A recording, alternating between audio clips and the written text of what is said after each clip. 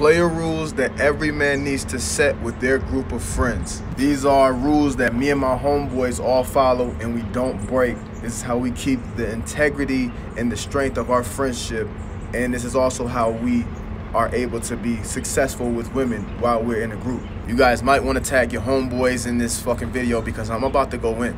This is in no order of importance. Now, the first rule is never ever clown your homeboys in front of women. This is a very ungenuine thing to do. It's okay to clown each other when it's just y'all, but when y'all around females, you should never do that. What's gonna happen is you're gonna clown your homeboy. Now because you clowned him in front of a female, he's gonna feel like he has to clown you back. And now y'all gonna be too focused on clowning each other than being focused on the females that's in y'all presence. And the females is gonna lose respect for y'all for doing that, and then none of y'all gonna get the women. Now number two, don't try to be the big man. Don't be trying to boss your mans around and trying to make dudes run to the store and buy you shit, man. Don't do that shit. If you're really the big man, the females are gonna find that out without you trying to have to be the big man. Don't do that shit. Now, number three, always have your homeboys back. Now, what I mean by have your homeboys back is don't be letting women talk about your homeboy. Look, I don't give a fuck how weird he is. I don't give a fuck how stupid he is. I don't give a fuck how ugly he is. You don't let no women talk about your homeboys.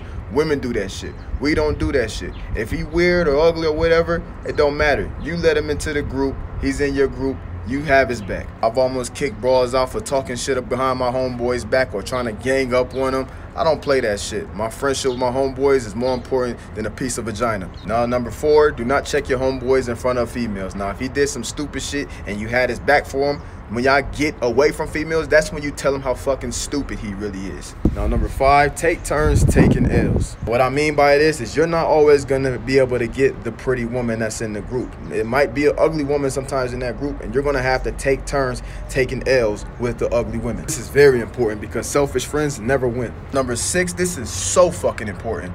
When y'all out and y'all trying to talk to women, if your homeboy gets dubbed, you never fucking laugh at him for getting dubbed. You pick that man back up and say, man, fuck those bras, let's go get some more. Why would you put your boy's self-esteem down and have everybody else scared to go and approach women now because they afraid you gonna laugh at them? Now none of y'all getting women.